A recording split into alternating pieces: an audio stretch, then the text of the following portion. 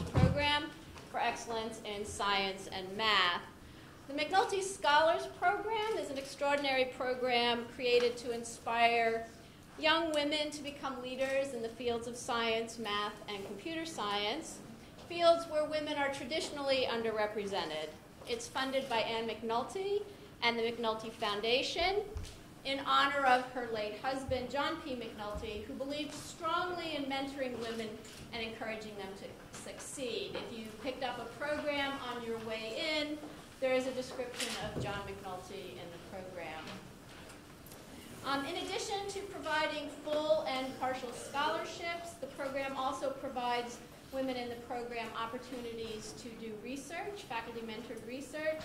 We also provide some leadership training and professional development.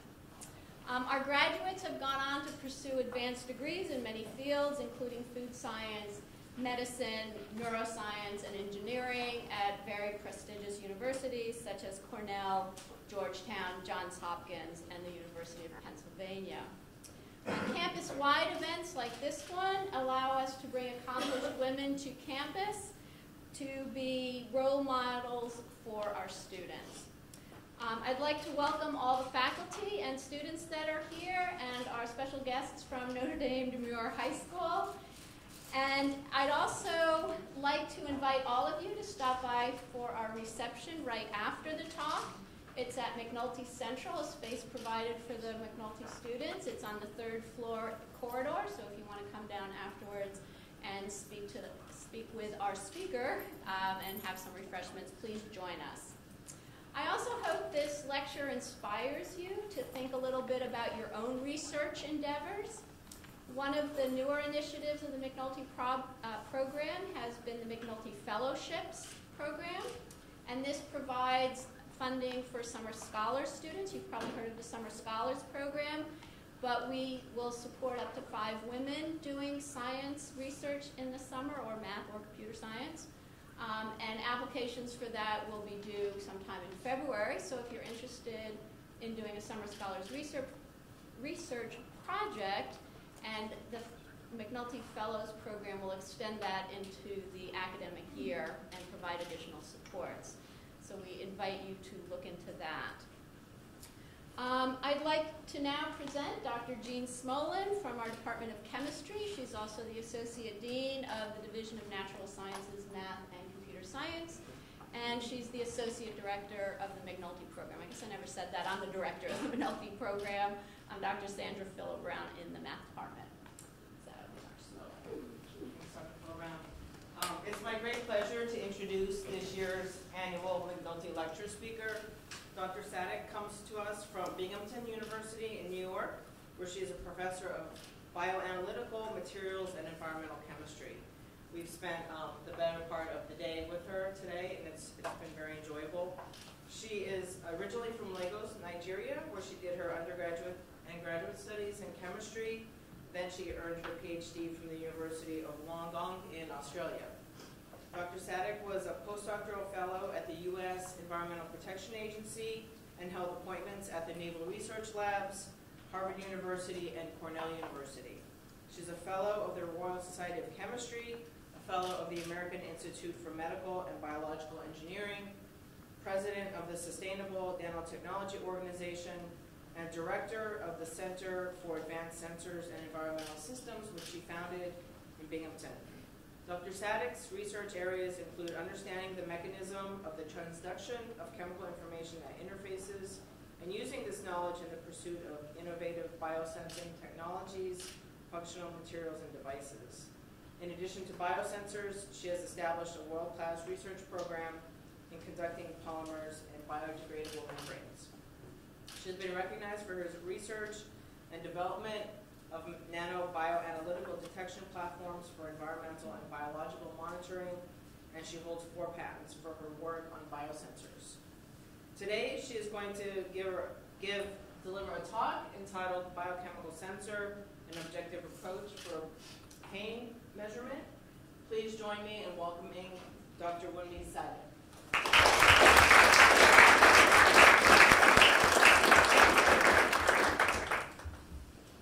Thank you very much. Uh, it's a pleasure to be here and I'm excited to see a room filled with uh, uh, young and energetic uh, scientists and, uh, you know, maybe uh, to be engineers. Um, first, I'd like to thank the uh, organizers of this program for uh, the invitation uh, to uh, deliver this lecture.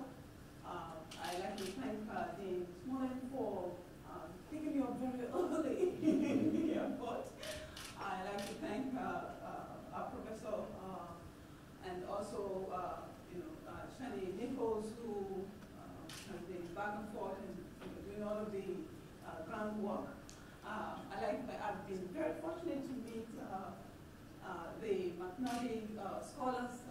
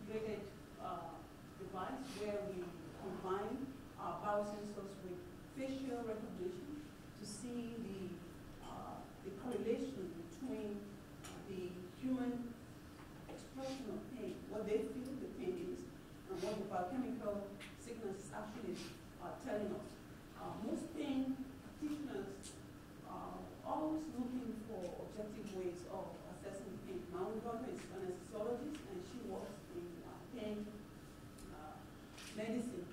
And people generally overestimate the level of pain they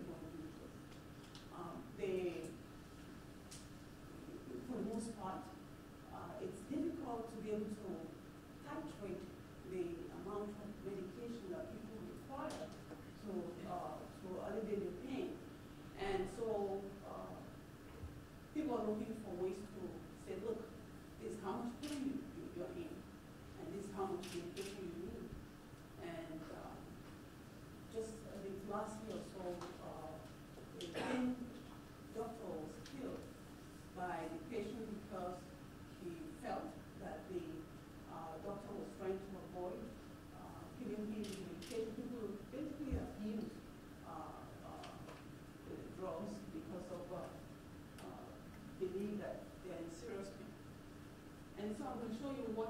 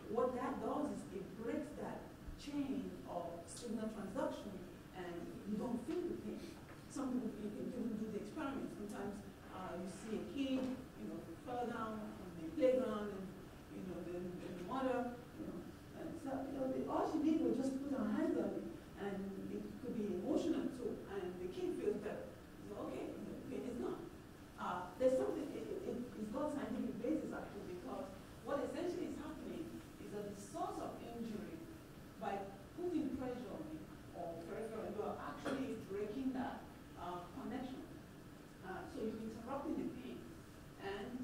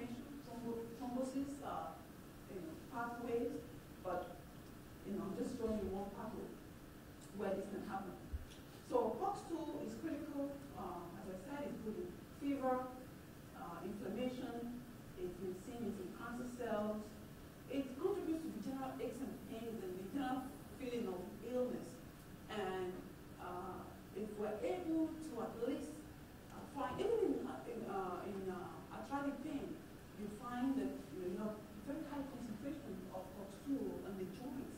And so if we can at least measure that effectively, we might be able to at least provide relief. Now,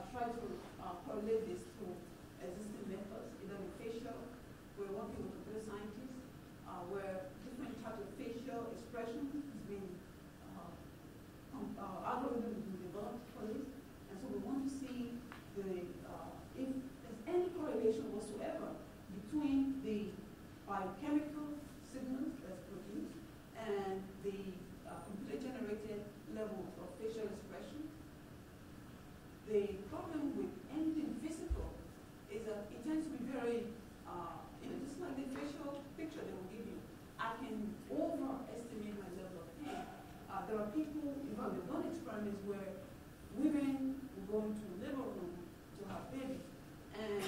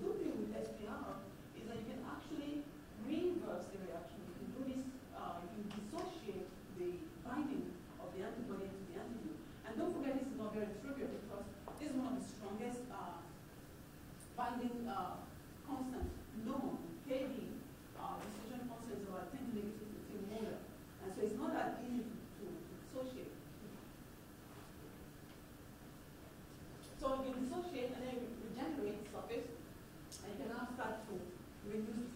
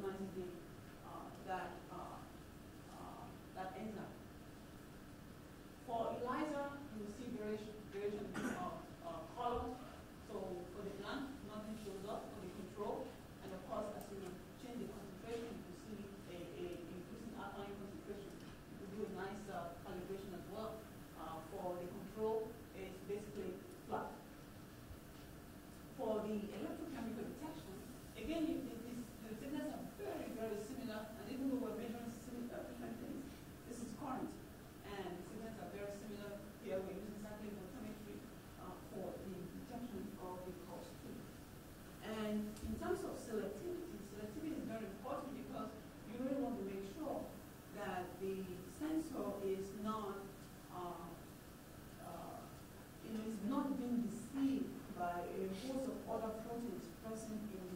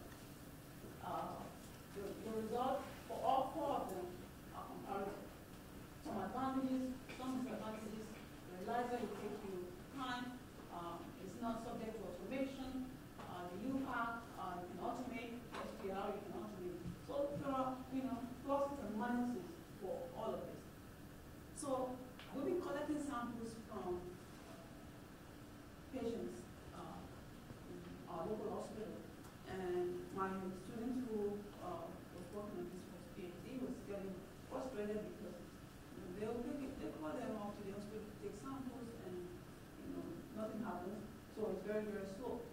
So we now, we've now integrated this with uh, 3D facial uh, imaging technology, where computer scientists have developed uh, facial expression uh, algorithm for uh, different facial expression. So there are seven expression models, uh, depending on you know, what happened, acne, scars, fear, you know, sad, surprise. So they train the um, algorithm to expression.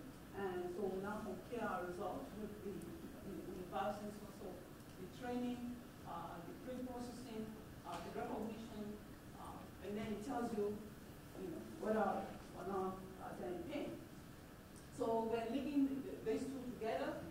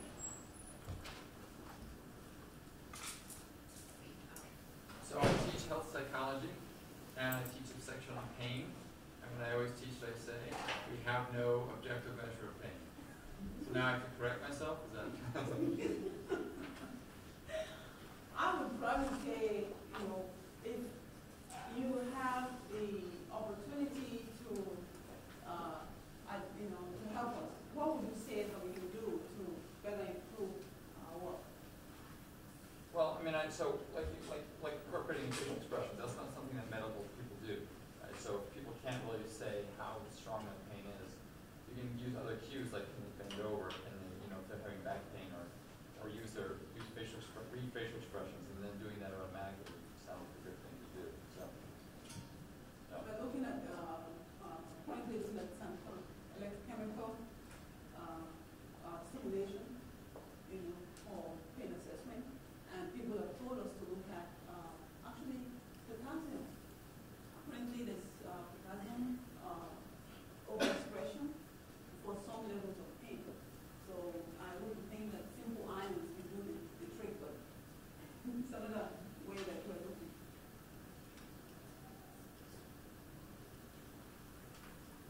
question. Are those students in your lab, are they doctoral students, they undergraduate students? Yeah, these are doctoral students. Uh, I do